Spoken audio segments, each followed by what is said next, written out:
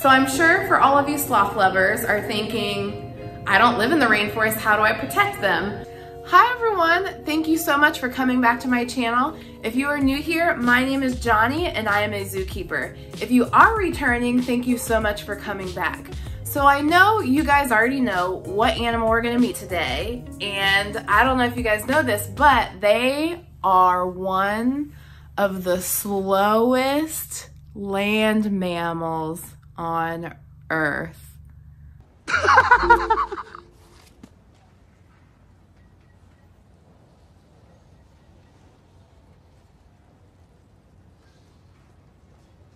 Ah. Ah. Uh. Ah, yes, very funny. I will not be talking that slow the entire time, so you're welcome. So if you'd like to meet a sloth today, come with me and we're gonna go to the zoo and we're gonna go meet Fern. So we're gonna let Fern just hang out on her perch. She loves to smell everything and check everything out. Fern is a Linnaeus two-toed sloth, or we should actually call her a two-fingered sloth. She has two fingers or toes is what everyone else calls them on her front limbs and then three toes on her back limbs which is why she is a two-toed sloth so a three-toed sloth would have three toes in front or three fingers in front and then three toes in the back. So a lot of people actually get confused sometimes because they do kind of know the difference between a two-toed sloth and a three-toed sloth, but they'll just come up and check Fern out and they'll look at her back feet without actually checking her front feet and see those three toes and think that she's a three-toed sloth. But like I said, she's actually a two-toed sloth with those two fingers on her front legs. Um, and she actually has really long claws on those fingers. They're about three to four inches and they're to help her climb and hang in the trees like she's doing right now. So they spend their entire lives up in the trees because if they go to the ground, they're basically defenseless. So we all know that sloths are very, very slow. So if you can imagine this on the ground, animals are gonna be able to catch up with her.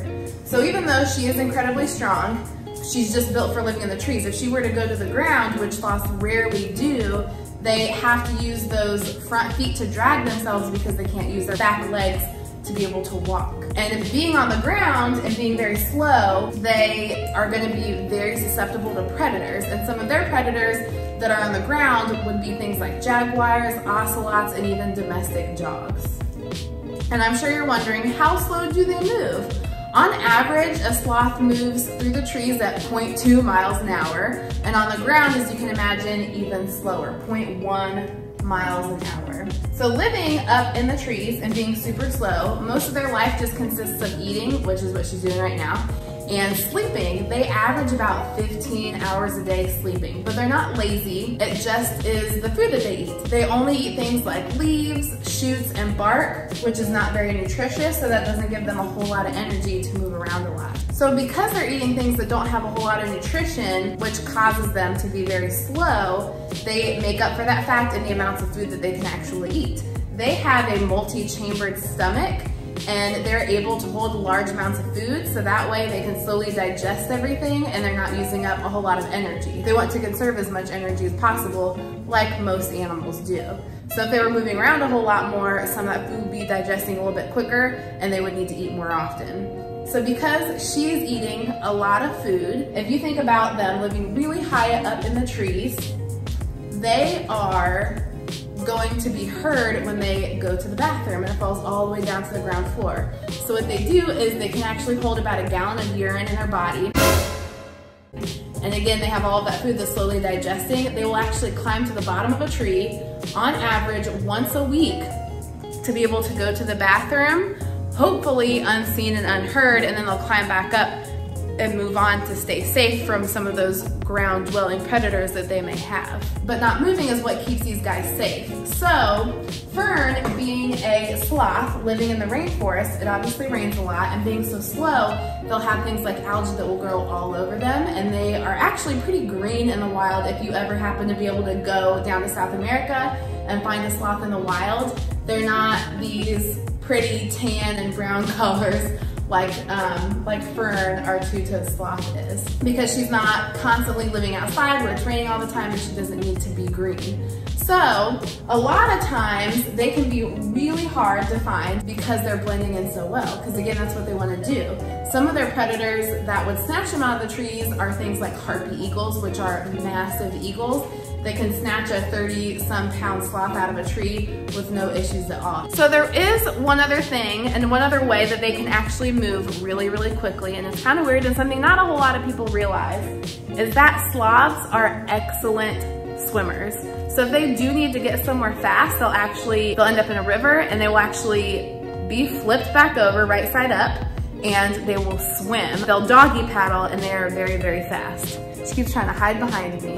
So if it's to get to another sloth, if it's to get away from a predator, that is the quickest way that she is going to be able to move is to swim, which is pretty impressive for a sloth to be a really fast swimmer. So unfortunately, sloths, there are several different kinds, different kinds of two-toes, different kinds of three-toads, that are actually unfortunately threatened in the wild.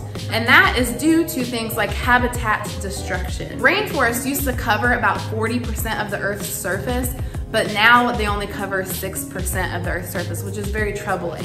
So I'm sure for all of you sloth lovers are thinking, I don't live in the rainforest, how do I protect them?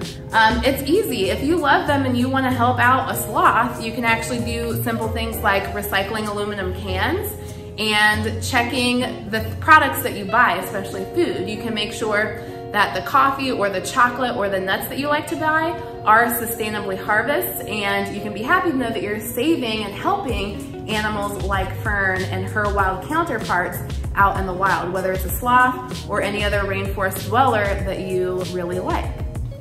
Sorry that that video, Fern, just kind of abruptly ended, but I will actually post links down below of different conservation organizations that you might want to donate to or even if you have the chance to volunteer with to help out sloths and animals like them in the wild. So I wanna thank you guys again so much for coming back and checking out my video. Please come back next week. We will be meeting the largest owl.